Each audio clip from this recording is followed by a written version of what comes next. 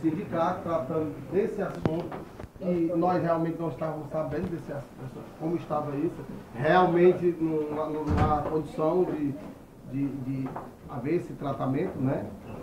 É, nós entramos em contato ontem já com o setor de recursos humanos, a gente já tem o diagnóstico de quantos são os senhores, né? E, e nós estamos imbuídos do propósito de resolver o problema, tá certo? Por isso É. que eu pedi até o Carlinhos para ter tranquilidade, porque é uma Tranquilo. coisa realmente, você tem que sempre se colocar no lugar do outro.